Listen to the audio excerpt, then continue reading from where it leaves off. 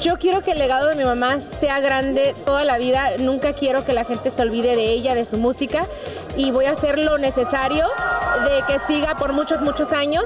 Eh, no nomás con eh, el canto, pero con también conseguir con I Love, um, con Jenny Rivera Love Foundation, con, cosas así, siento que eh, así es la mejor manera de honrar a mi madre. Para el Día de las Madres todavía no tengo nada preparado, es un día muy difícil para mí, pero sí me la quiero pasar en familia, con los niños, en casa, ir al jardín donde está mi mamá descansando.